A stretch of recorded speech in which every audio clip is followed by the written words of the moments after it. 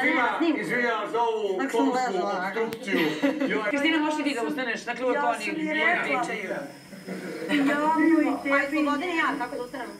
Šta sam imala da kažem? Da, može. Ovo je bila, mislim, sutradan posle mog dolaska ovdje.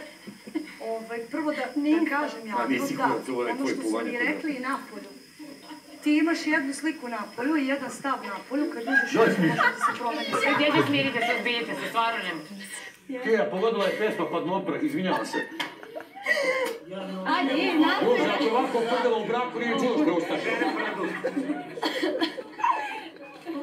Ne, ovo je, ovo je ne reakcija na klip. ništa. Kija, pustila. Reakcija na klip. Joj, prdela, skrila, ti sunce, jebe, kako ako mala prdela ovoliko. Nije, Žiža, nije.